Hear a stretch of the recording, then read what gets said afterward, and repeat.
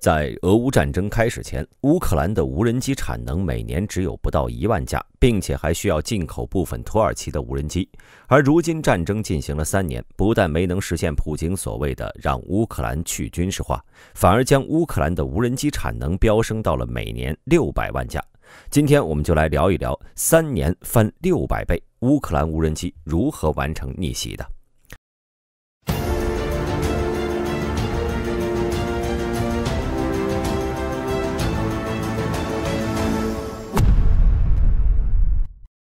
一九九一年十二月二十四号，苏联解体后，乌克兰这曾经的苏联工业重镇可谓是一片狼藉，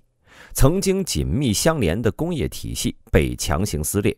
乌克兰在工业领域的发展瞬间失去了强大的后盾与支撑，相关企业更是陷入了深深的发展困境。由于缺乏资金投入，企业难以进行先进设备的引进与技术研发，曾经拥有的技术人才也因看不到发展前景，纷纷外流，导致企业技术力量严重不足，没有了稳定的供应链，原材料供应时时常中断，生产计划完全被打乱了。在这样的艰难处境下，乌克兰的工业相关企业举步维艰，只能在有限的资源和技术条件下进行一些简单的工业制造，距离形成完整成熟的工业产业还有着漫长而艰难的路要走。二零二二年二月二十四号，俄乌冲突爆发后，乌克兰无人机产量犹如火箭般飙升，着实令人瞠目结舌。据泽连斯基透露，二零二四年乌克兰生产了多达一百五十万架。无人机，这数字与战前相比简直是天壤之别。要知道，直到二零二二年末，乌克兰的无人机产量还微不足道，而且主要是依赖于整机外购。在短短的两三年内实现如此飞跃，堪称工业奇迹。然而，如此惊人的产量增长，必然也对战局产生了深远影响。大量的无人机投入战场，改变了战争的作战模式。其中，FPV 小型自杀式无人机已经成为乌克兰军队的秘密武器。他们凭借小巧灵活的特点，能对俄军目标发动突然袭击，给俄军造成不小的困扰。这些无人机在战场上的频繁出现，一定程度上打乱了俄军的作战部署，增加了俄军行动的风险和难度。同时，无人机的广泛应用也提升了乌克兰军队的作战信心。在一定程度上稳定了军心。乌克兰凭借无人机产量的爆发，在这场实力悬殊的战争中获得了更多和俄军周旋的资本，也让战争局势变得更加复杂多变，为后续无人机技术和战术的进一步发展奠定了坚实基础。并且为了推动无人机生产，乌克兰政府出台了一系列极具针对性和吸引力的政策。这些政策如同强劲的东风，助力无人机产业迅速崛起。在税收方面，生产无人机的企业所得税税率降到百分之九，员工个人税率为百分之五。要知道，在俄乌冲突后，乌克兰为了筹集战争经费，各行业税率大幅上涨。多数公司所得税是不低于百分之二十，个人所得税不低于百分之十五，部分行业甚至更高。银行、天然气、煤炭等重点行业还要缴纳额外高额的利润税。相比之下，无人机企业的税收优惠力度之大，可以说是不言而喻。这极大地降低了企业运营成本，提高了从业者的收入，吸引了众多企业投身无人机生产领域，同时还赋予无人机企业相关人员动员豁免权。在乌克兰总动员后，国内对动员态度两极分化，大量人员应征入伍，肩负起保家卫国、抵抗侵略的任务，但也有部分人因各种原因不想服役。对于留在国内又想避免被动员的人来说，无人机企业的动员豁免权极具吸引力。这一特权使得大量人员涌入该行业，为产业发展提供了充足的人力支持。此外，乌克兰还鼓励普通人在家组装无人机，并卖给国防部。数字化转型部还设立了专门网站，提供详细教程，涵盖组装、进口零部件、过海关等各个环节。这不仅为民众提供了创收途径，还充分调动了民间力量，进一步推动了无人机产业的发展，为乌克兰无人机产量的爆发式增长提供有力支撑。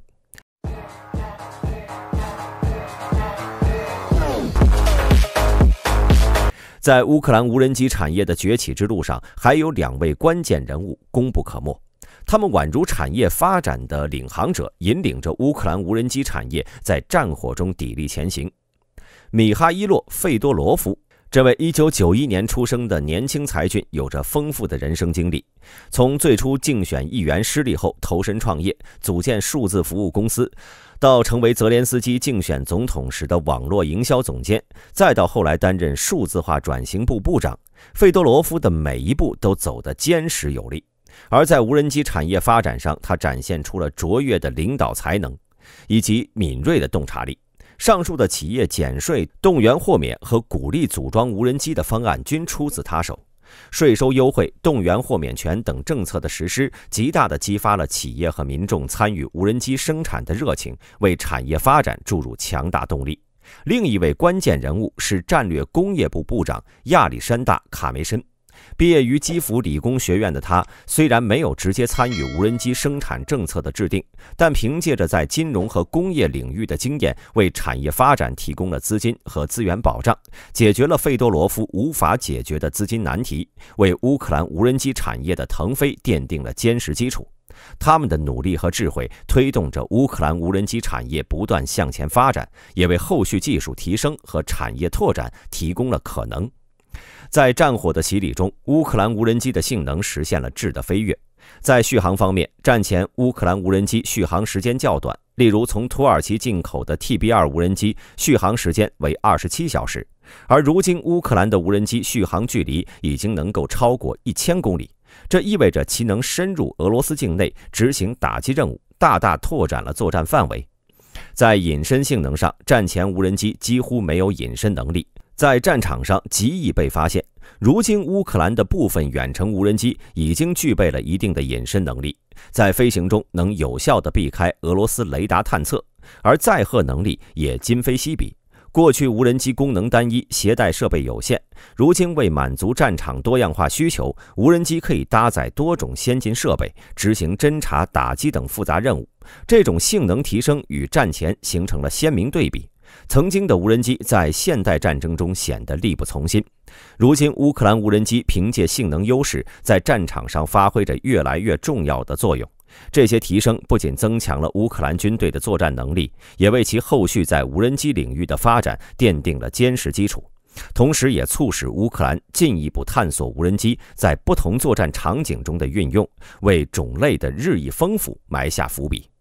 为满足战场多元需求，乌克兰在无人机种类研发上可谓不遗余力，成果也是显著的。如今，乌克兰的无人机家族可谓是人丁兴旺，涵盖了多种不同类型，以适应各种复杂的战场环境和作战任务。其中，可重复使用和一次性使用的无人机各有千秋。可重复使用的，犹如战场上的多面手，经过维护和调试后，能执行多次任务，大大降低了长期作战成本。他们通常配备较为先进的设备，能在不同时段对同一目标区域进行持续侦查和监控，为作战决策提供丰富且连贯的情报信息。而一次性使用的无人机恰似战场上的敢死队，小巧灵活且成本较低，多为小型自杀式无人机 （FPV）。他们在执行任务时毫不退缩，一旦锁定目标便勇往直前，以自身携带的炸药对敌方目标发动致命一击。给敌人带来巨大的心理压力和实际破坏。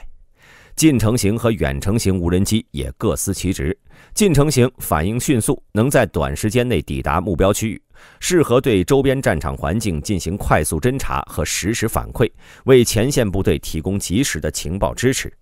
远程型无人机则凭借其出色的续航能力，深入敌方纵深地带执行任务。比如对重要军事设施、战略目标进行侦察，甚至打击，极大拓展了乌克兰军队的作战范围和战略威慑力。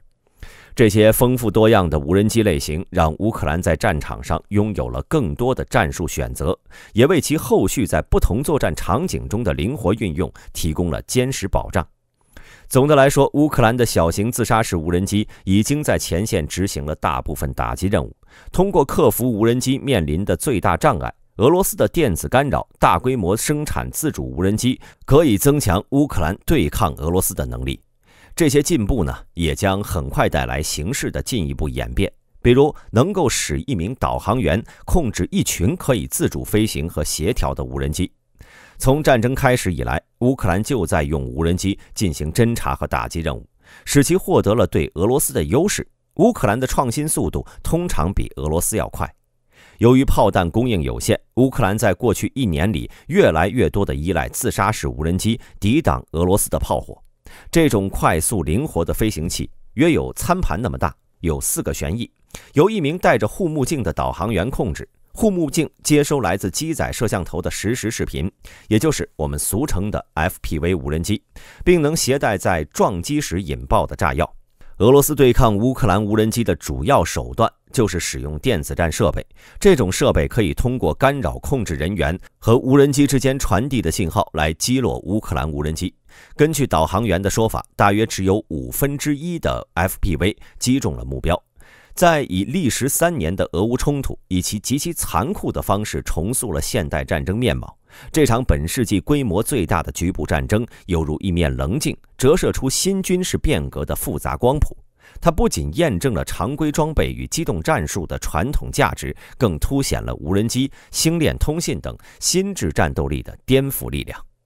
由于无人机固有的侦察和监视能力，战场的双向透明增加了集结兵力的难度，并促使双方都在寻求无人机技术应用方面取得优势。